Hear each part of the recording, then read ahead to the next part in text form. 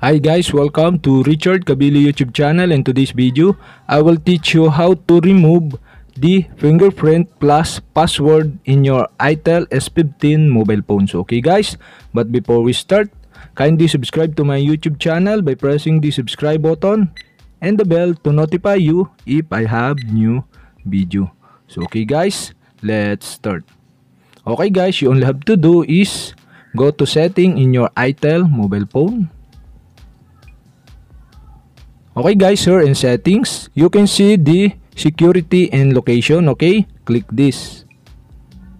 And okay guys, here in security and location, okay, in device security, you can see the fingerprint, okay? Click fingerprint and okay, we need to re-enter your password, okay? Enter your device password to continue. And okay guys, after you enter the password, okay, you can see the fingerprint list, okay? And I have only one finger screen lock, okay? You'll have to do is click finger 1 and after you click the finger 1, you can see the delete button, okay? You'll have to do is click delete and the pop-up will show and confirm to delete the fingerprint info, okay? You only have to do is click remove button and okay guys, we have successfully removed the finger lock. Okay. Another one is how to remove the password lock. Okay. Okay, go back and okay, and device and security and security and location.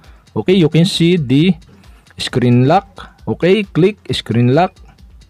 And okay guys, we need to re-enter your password. Enter your device password to continue.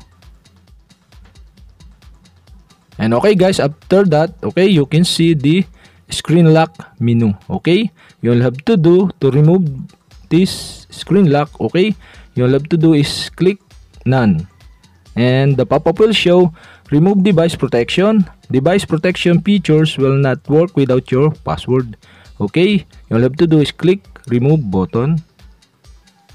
And okay guys, we have successfully removed the fingerprint plus password in your ITEL S15 mobile phone. Okay guys, if you have a question, kindly comment below and don't forget to hit the subscribe button and the bell to notify you if I have new videos. Okay guys, thank you for watching.